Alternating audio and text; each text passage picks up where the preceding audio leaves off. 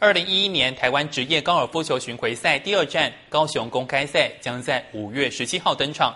赛程包括高雄公开赛、长春职业、女子职业邀请赛，赛程精彩可期。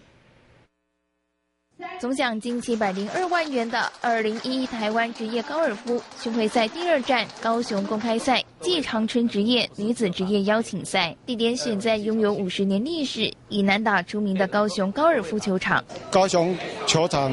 难度很高，就是没有风，或者是一年四季都一样，都是一样难打。球道变化多，就算上了果岭也不好推杆。而让草皮维护人员头痛的，则是缺水问题。因为今年旱灾嘛，哈，缺水的问题很严重，但是我们还是克服，都买水来浇浇这个球道。大会会长陈田普说：“高尔夫是绅士运动，基本上是自己跟自己比赛。”孔子说啊，君子的比赛好像去射箭一样，其实射箭也是你自己跟自己比赛，不是说你会去压压制对方。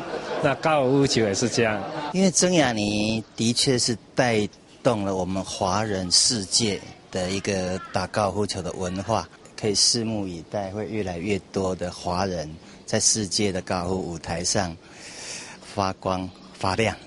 二零一一年台湾 PGA 巡回赛共有十一场比赛，今年是高雄球场成立五十周年场庆，所以再加入台湾巡回赛，期待台湾选手能在家乡有好的表现。高雄公开赛，新唐亚的电视李娟荣、林宏官同高雄报道。